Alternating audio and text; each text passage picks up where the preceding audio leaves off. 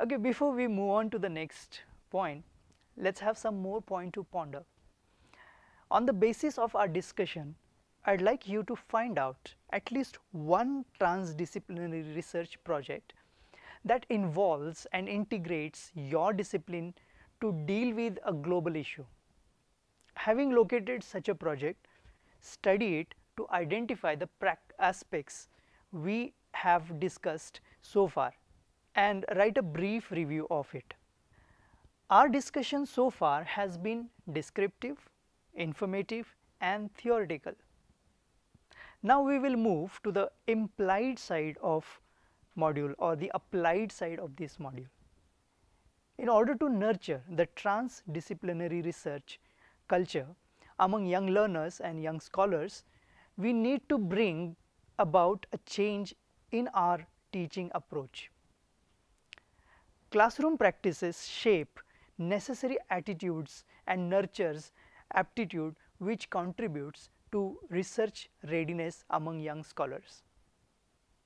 There has been a shifting conceptualizations of the role of research and teaching.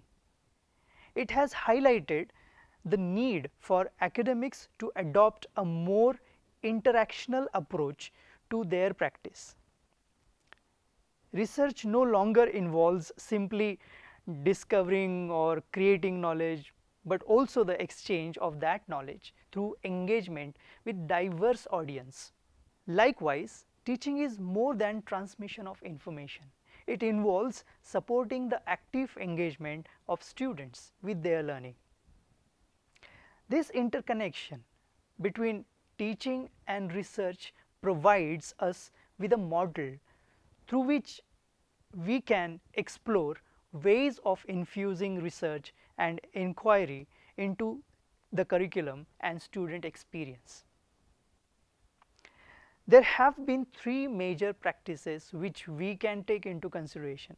These are 1 uh, research based teaching, 2 project based teaching or 3 problem based teaching. Well, before we discuss these practices, I would like to state right at the outset that there are no watertight compartments between these practices. Uh, they share common traits while varying in terms of focus. So, let us take a look at these practices. What does research based teaching mean? There are different names in the literature for what we are going to describe. There are certain umbrella concepts such as uh, teaching research nexus, intervening teaching and research and research informed teaching.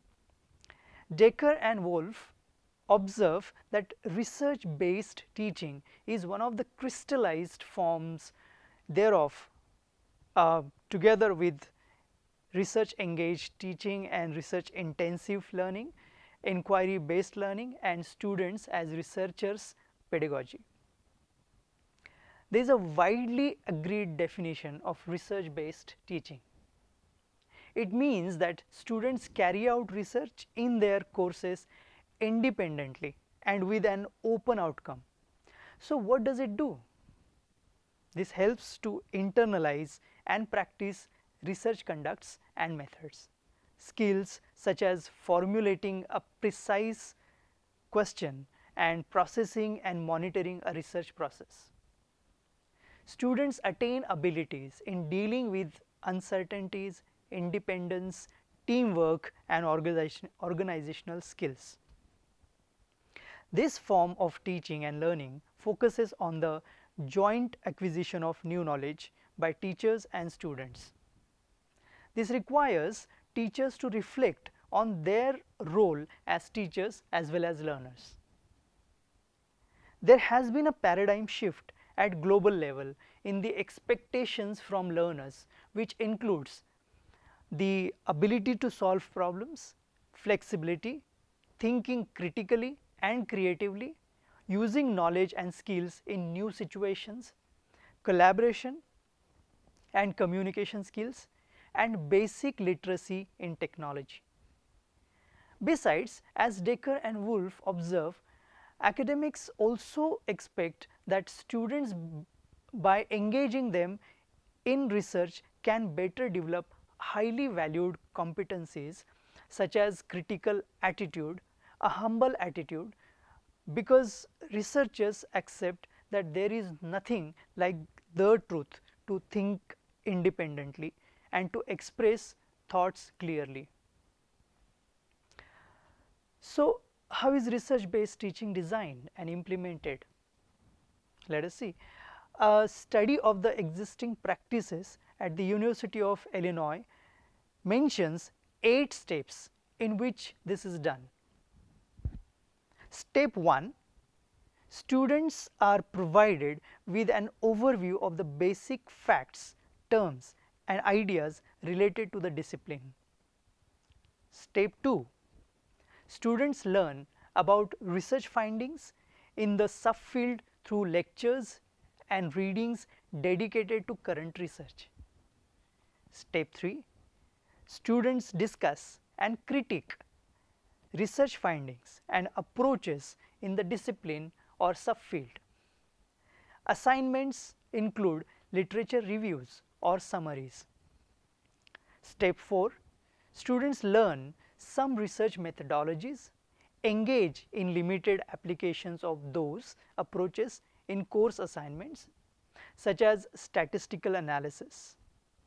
Step 5 Students learn in a course dedicated to the research methodologies, engage in extensive applications of a variety of approaches. Step 6 Students engage in faculty designed and led original uh, research such as replications of existing studies. Step 7 Students engage in faculty designed and led original research such as research related to faculty projects and conducted in faculty labs. And step 8 students engage in student designed and led original research such as a senior thesis or capstone project. Dekker and Wolff offer a list of research based teaching activities for students. These include 1. Interviewing and reporting the interview findings to other fellow students. 2. Studying and discussing authentic scientific research articles. 3. Writing, presenting and discussing a review of scientific research article. 4.